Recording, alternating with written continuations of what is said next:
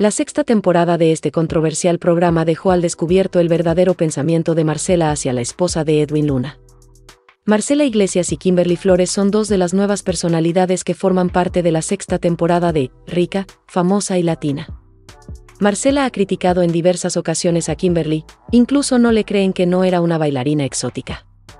Iglesias no se quedó con nada y arremetió en contra de la esposa del cantante Edwin Luna, a quien supuestamente le debe su fama.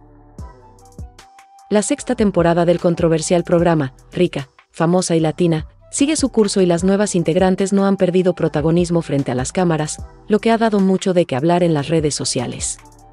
Si bien, se sabe que algunas de las personalidades del reality de famosas no se llevan nada bien, pues en diversas ocasiones los insultos suben de tono y en ocasiones han llegado hasta los golpes. Ya en varias ocasiones Marcela Iglesias ha externado que no congenia totalmente con Kimberly Flores, pues la ha criticado frente a frente en varios capítulos del programa, sin embargo, esta ocasión la artista se le fue con todo a la esposa de Edwin Luna, pues aseguró que es una hipócrita.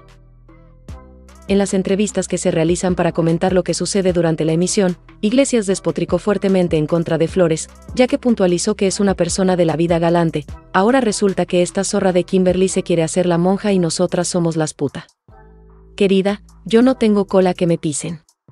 Asimismo, la famosa agregó que la ex participante de La Casa de los Famosos logró lo que tiene gracias al vocalista de La Tracalosa de Monterrey, con quien se encuentra casada desde el año 2019, pero si Edwin la sacó de la mala vida, le puso pan a esa boca hambrienta. Ante estas declaraciones, internautas estuvieron de acuerdo con Marcela, ya que destacaron que la latina no dijo nada más que lo que todos piensan. Se tenía que decir y se dijo, muy bien dicho, me encanta esta mujer.